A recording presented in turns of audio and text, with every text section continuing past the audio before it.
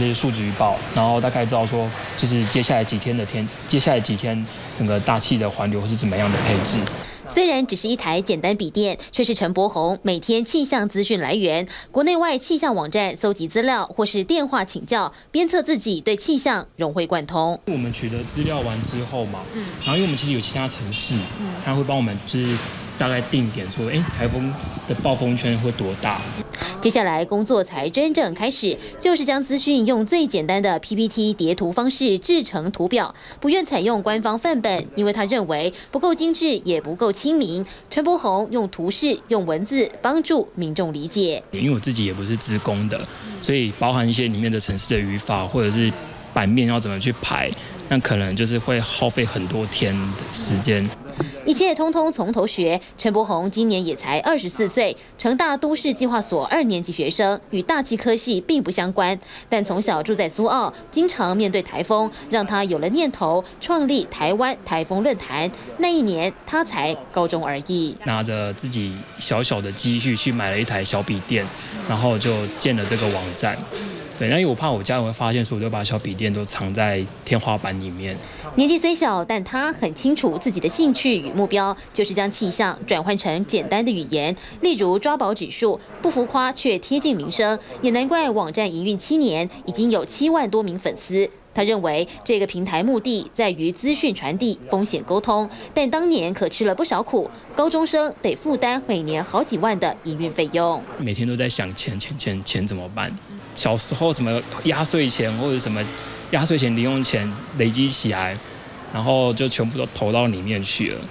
没钱没收入一度让他退却，但他撑下来了。这股勇气正是现在社会最需要的。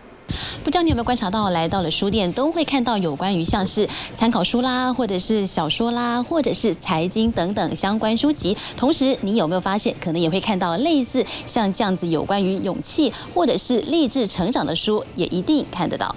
勇气这两个字散布在书店各个角落。任何事情只要有了勇气，一切都有机会从不可能变为可能。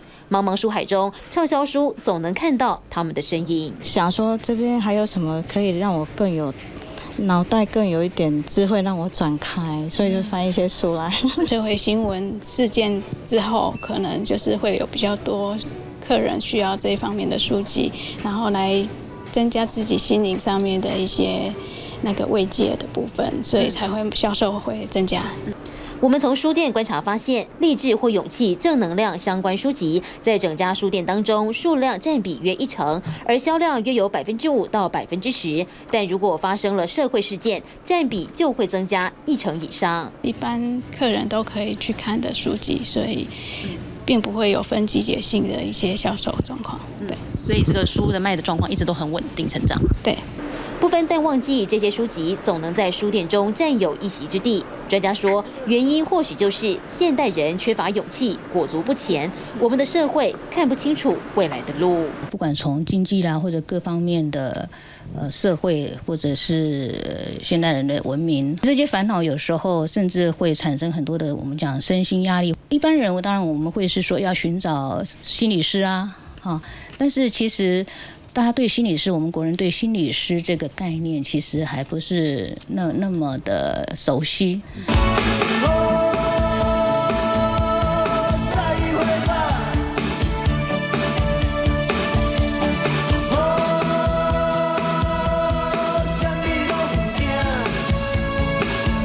气中弥漫着什么氛围，代表着这个社会正缺乏什么？林强这首歌提到了“虾米拢唔惊”，正是当时一九九零年代的写照。勇敢去闯，就能造就今日的繁华；迈开步伐向前行，就能找到自己的路。TVB 新闻吴建宏、华世家台北采访报道。